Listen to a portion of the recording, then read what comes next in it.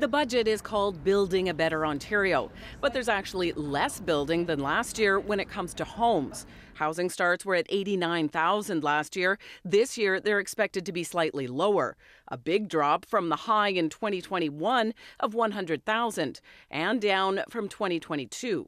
You know, look, I've been around long enough to see interest rate cycles up and down, economies up and down, housing starts up and down. Despite the numbers, the finance minister says housing is a top priority for this government and has been for years. And what we won't waver on is our commitment to find more ways to get more houses built and condos and student living and senior living and, and supportive housing. But even going forward, future years still aren't projected to hit 100,000 new homes a year, well below the government's target. I have to say this is another catastrophic failure.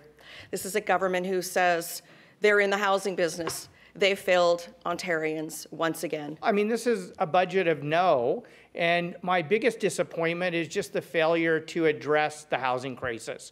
We know the housing crisis is the number one issue for Ontarians, and it's what's driving the affordability crisis. Well, it's deeply concerning. The NDP wanted to see more for affordable housing. People are looking for better. They're looking for better when it comes to homes that they can afford, and this, go- this government and this budget is not delivering. Some housing changes the government is making with this budget, empowering more municipalities to charge a vacant home tax beyond just Toronto, Hamilton, and Ottawa that already can, and allowing municipalities to lower taxes for developers building purpose built rentals.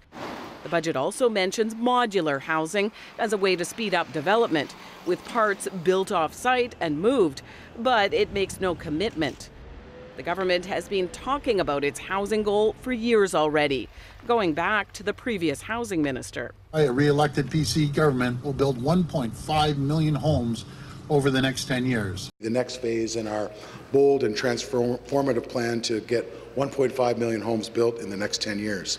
And at least 1.5 million homes by 2031. But that's looking increasingly less possible, including with this budget. Lorenda Reddekopp, CBC News, Toronto.